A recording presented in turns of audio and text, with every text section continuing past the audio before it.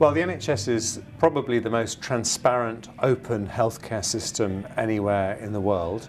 And that means that quite often we get a bit of a pasting in the press when things go wrong because newspapers prefer to report bad news than good news.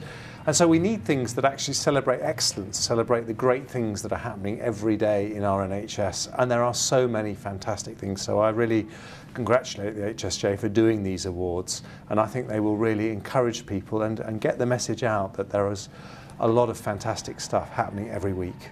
Well, I think the name of the game in the NHS isn't that we haven't always had great things that happen, but we haven't always been good at diffusing them and learning from best practice. And as we move to the next stage in the NHS of transparency and openness, um, what I think that will mean is much more hunger and interest in learning from best practice wherever it happens. So I know the people at these award ceremonies tonight will have a fantastic evening.